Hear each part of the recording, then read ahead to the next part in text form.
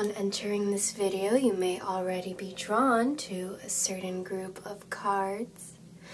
If so, then those are your cards for this reading. But if not, go ahead and take a few moments now to really center in your energy, taking a deep breath in.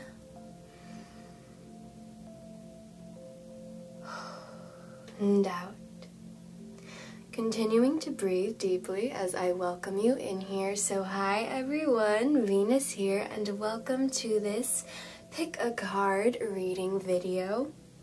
So, this pick a card reading video I'm super excited to bring to you guys, but first and foremost, I do have to say um, my voice is feeling a little hoarse, so excuse me if I sound like a dying cat.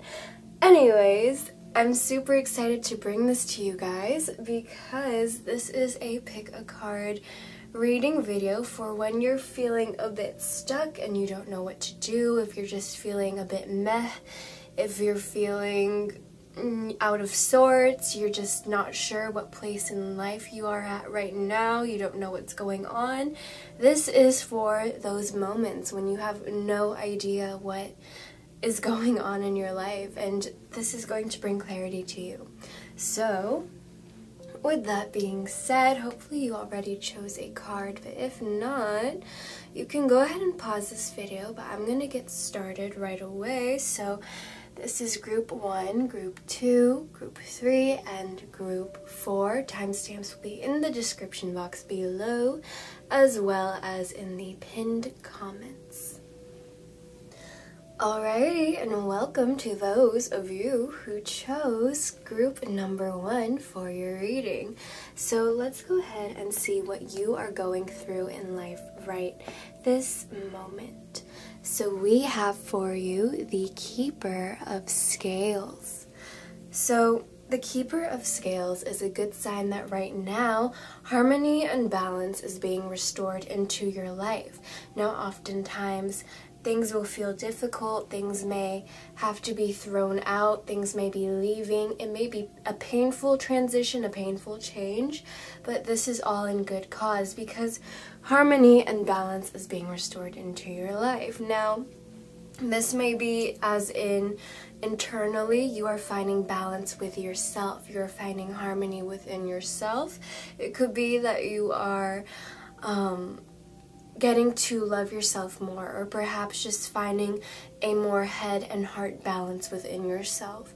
Some of you, this could be physically with yourself. It could be that you're feeling under the weather and you are achieving that harmony and balance, but because your body is kind of out of sorts, your mind is becoming out of sorts as well, and you know, having a cold or a cough or whatever can really be causing you to think in different ways, if that makes sense. But this harmony and balance card can also refer to your outer world as well.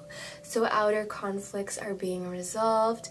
Um, anything that has been bothering you or causing you pain or has been making your life feel out of balance is quickly moving away. So we are in this transitioning period of bringing balance into your life. So that is what the Keeper of Scales is doing.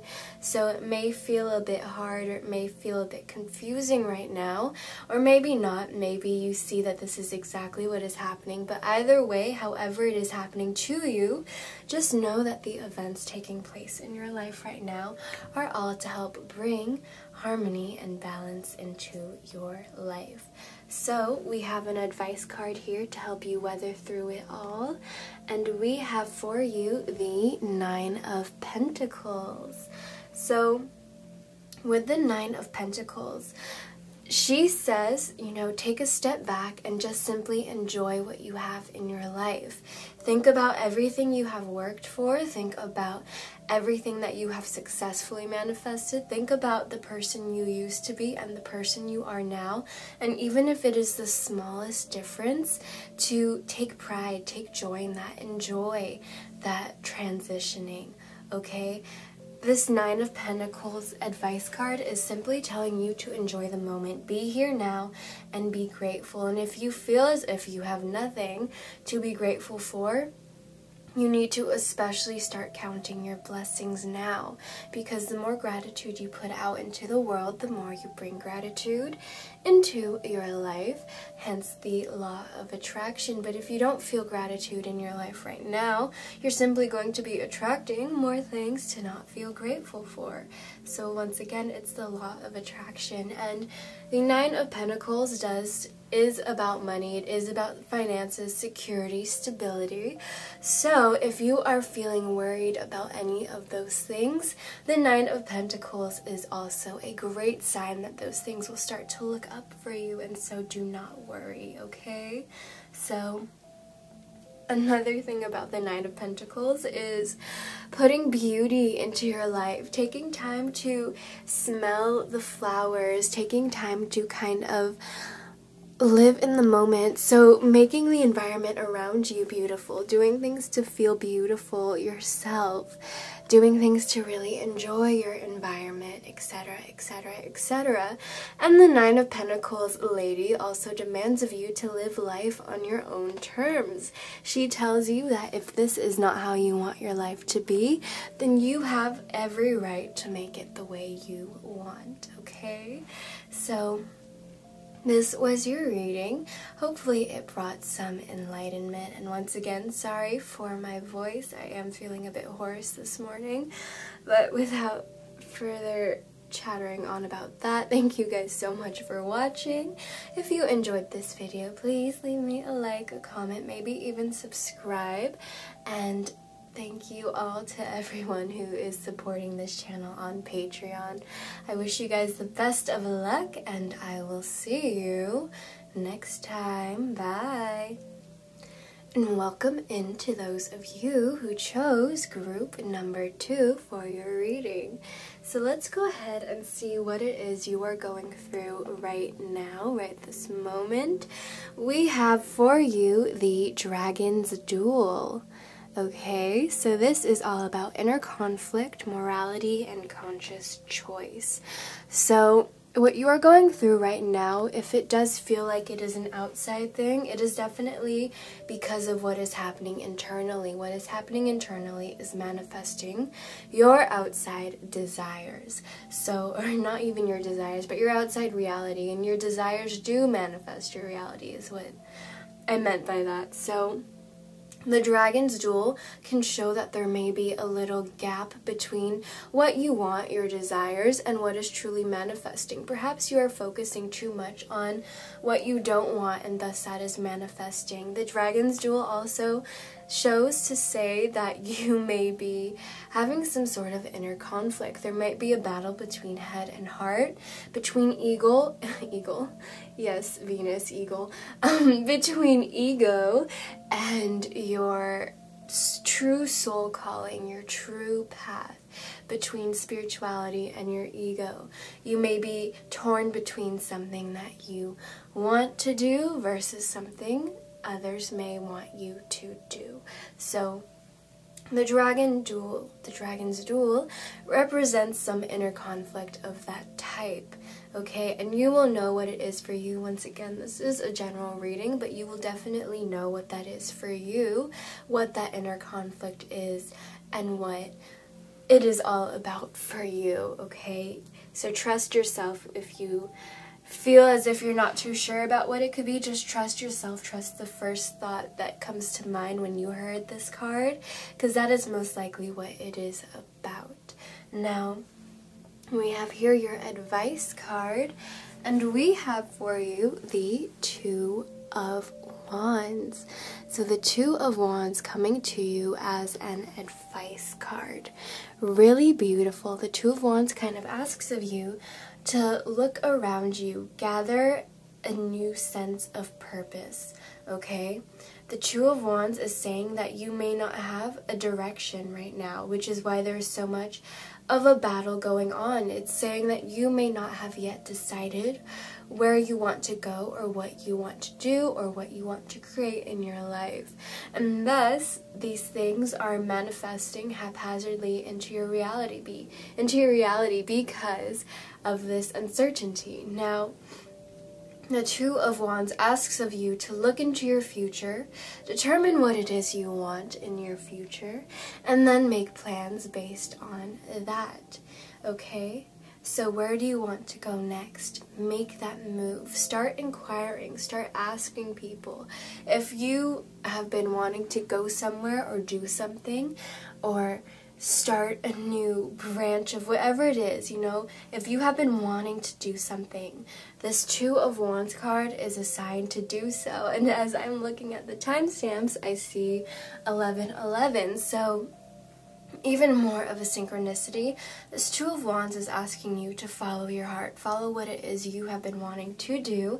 This is a sign to just go for it, okay? And the Two of Wands also says to be open to um, other ways of thinking or other opportunities. Be open to something different than what you expect, okay? This could be in regards to people, places, things, or situations. Maybe you have been trying to manifest a particular event, but in your head there's only one clear way to go about it, and this Two of Wands is saying that you can have what it is you're trying to manifest into your life, but because you keep thinking about the how, about this one certain way that it is to be brought about into your life, you are thus creating a block. So don't worry about how it's going to come into your life. Be open to other ways or possibilities, and just know that it will come into your life. And don't be afraid to be surprised, okay? And the Two of Wands is also just a reminder to reflect on how far you've come and even if it seems like a small distance, like you have come a really big way. You have come tremendously far and wide and it is an accomplishment in itself, even if it doesn't seem like it. Our accomplishments and our steps and journeys seem so small and so minuscule because we are living with ourselves every day. But imagine, you know, looking back at yourself from two years ago and imagining that you haven't seen yourself since then and thinking about where you are now. It really is an enlightening thing to think about. Like, wow, I really came on this journey this far. So, with that being said, this was your reading. Hopefully, it enlightened you in some way. And again, apologies for my voice. I am feeling a bit under the weather. But with that being said, thank you guys so much for watching. If you enjoyed this video, please leave me a like, a comment, maybe even subscribe. If not, completely okay. And also big shout out to everyone supporting me on Patreon. So once again, thank you guys so much for watching. If you enjoyed this video, thank you so much, and I wish you guys the best of luck in love and light, I will see you next time. Bye. Alrighty, and hello to those of you who chose group number three for your reading. So let's go ahead and see what you are currently going through right now. And we have the Shadow Queen in reverse, actually. So the Shadow Queen is all about acquiring knowledge and security and manipulation. And she comes to you in reverse. So the Shadow Queen usually represents that you are going through some sort of shadow work. You may be aware of it, but because she's coming to you in reverse, it may be shadow aspects of yourself that you are unaware about. And so, for any of you who aren't too clear on what shadow work is, it's basically facing your inner darkness. It's facing you know, every raw, gritty, dark thing about yourself and coming to terms with it, seeing in which ways you are operating from your ego and a place of negativity and a place of hurting others and creating chaos into the world and creating darkness and this shadow into the world. And coming to terms with that, accepting that part of you and growing from it. So that is your shadow work. So some of you definitely know what it is you are going through right now, but others of you, this shadow work is a bit more tricky to understand, okay? It can be your ego parading as a false sense of superiority when deep down you may be actually really insecure. It could be you manipulating other people to stay in your life because deep down you're worried that people won't want you to won't want to stay for who you truly are.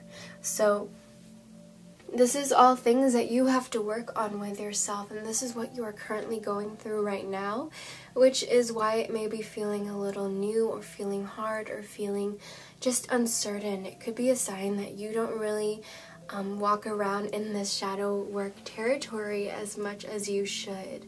And so, this is definitely all about shadow work, and you can look up a million more articles and videos on that, which will be much more self explanatory and it can also be much more enlightening to your particular situation. This is a general reading, so I'm not about to go over every different way this shadow side of yourself can be projecting or manifesting, but definitely you will know for yourself what part of you needs this healing and needs love, okay? So, that is what you are going through currently, and we are going to be looking at your advice card now. How do we handle this? How do we go through it? How do we grow through it? We have the Hierophant for you, okay? So, with the Hierophant, it kind of asks of you to follow some sort of structure, some sort of routine. Maybe getting into a habit or routine of daily self love or daily self care. This can also talk about asking others for advice. Perhaps you really don't know yourself too much, and so asking someone close to you, asking someone who you trust and love and know that will give you a good answer, not a hurtful answer. Um, talking to people you love and just asking, you know, like, what is an aspect of myself that I need to work on? Or asking, you know, when I am at my worst, what is the person I become? I have had many enlightening um, revelations just simply asking one of my best friends, you know, what am I at my worst and how should I go about fixing it? And, you know, if they love you and if they are truly caring for you, they're going to be truly honest and they're going to give you a response that will be helpful and not hurtful. So do try to find the counsel of your friends, family that you trust, okay? Now, with this Hierophant card, you also may need to step into a leadership role in your in your life and take your own advice and really take charge and really be the leader in your own life. Really all about also taking responsibility for the things that has happened to you and the things that you have done to other people and taking responsibility for who you are which can be a very hard thing to do. It can be hard to take responsibility and acknowledge that we have hurt another person or have brought some aspect of shadow into the life of other people. So that is something this hierophant card is advising you to do as well. So this is your these are your cards for this reading. Hopefully that was able to bring some enlightenment in some way. If you enjoyed it please leave me a like a comment maybe even subscribe. If not completely okay. I'll forgive you.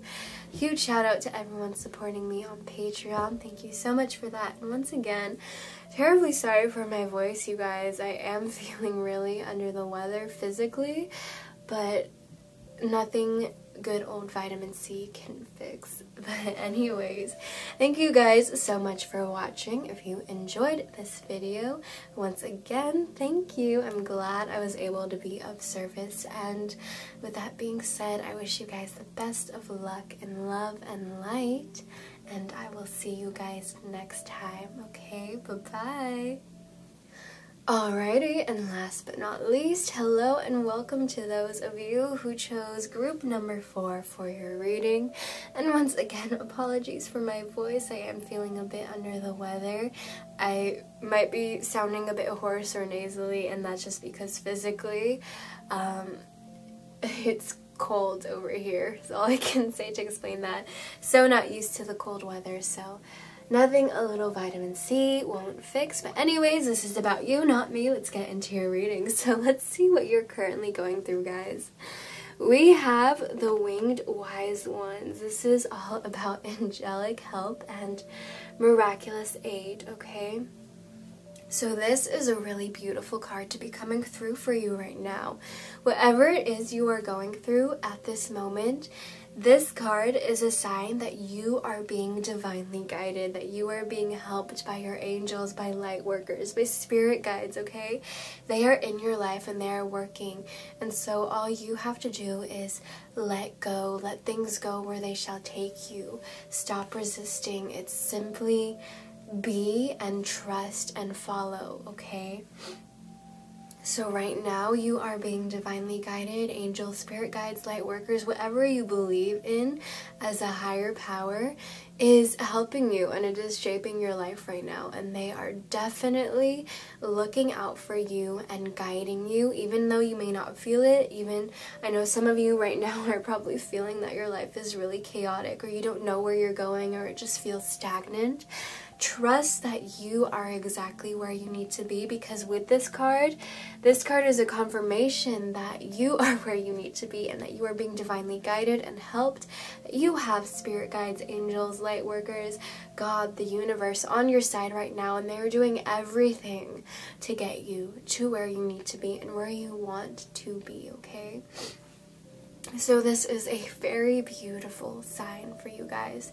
So, this is to have trust, have faith, don't worry, and definitely do not doubt because this card is a very, very, very, very good sign. It is a sign from higher consciousness, intuitive wisdom. It is a sign that, you know, things are going out the way it needs to be. You just need to go with the flow and trust.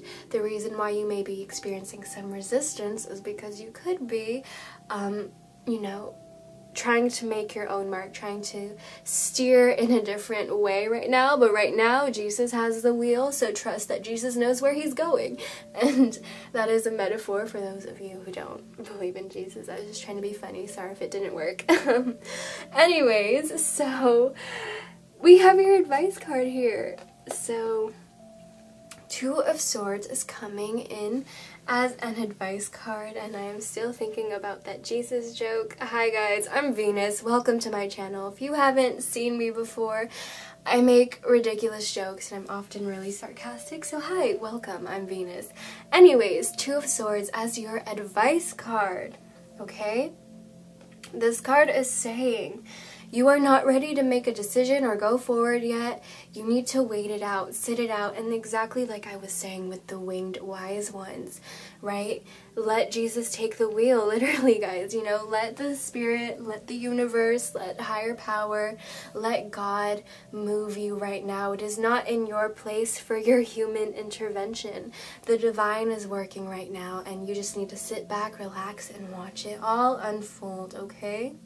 So, instead of looking outwards and trying to control things in that way and try instead of trying to balance things in your outer life the two of swords asks of you to look within instead for this time being and to ask how you can find balance within yourself. How can you um, create harmony inside of yourself okay? And for some of you having conflict or having some sort of discrepancy or debate or going on in your life, this Two of Swords asks of you to call a truce, to pull back, and to really do inner reflecting. Right now is not a time for you to be wasting away in such frivolous, tedious, you know, interactions, okay?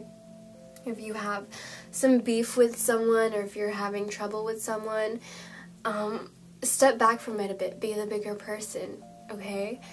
And with also the Two of Swords, the Two of Swords also asks you to think things through carefully, weigh out pros and cons of everything, make sure you know everything, make sure you're not acting from a place of emotion too strictly, and make sure you're not too strictly acting from a place of logic and not considering emotion. And the Two of Swords also asks of you to, once again, introspection, meditate, listen, really seek counsel and guidance within that higher power within yourself. Okay, this is a sign that you know the divine is working in your life right now. Things are going good for you, and you have to take a step back. And while it may be hard for you to take a step back, the ego is the part of us that always wants to be controlling and always wants to take part in whatever's going on. The divine is saying right now, like, honey, it's time for you to watch and learn. So while your ego may be wanting to control every aspect of what's going on in your reality and may have a hard time trusting, all you can do right now is to simply go within and work on yourself, and that will be a great distraction while your higher powers are manifesting a beautiful life for you, okay? This is a really good sign that good is coming, good is on the way. It's a great omen that something beautiful is manifesting in your life right now, okay? So I'm really excited and happy for you guys. So with that being said, this was your reading. Hopefully you enjoyed it. If you did, please leave me a like, a comment, maybe even subscribe. If not, completely okay. And huge shout out to everyone supporting me on Patreon and supporting this channel. Um, thank you guys so much. It really means a lot. You really do help keep this channel going. And with that being said, once again, if you enjoyed this video, I'm glad. And I wish you guys the best of luck and love and light. I hope that your journey is easy and full of healing, love, and light. And I will see you next time. Bye-bye.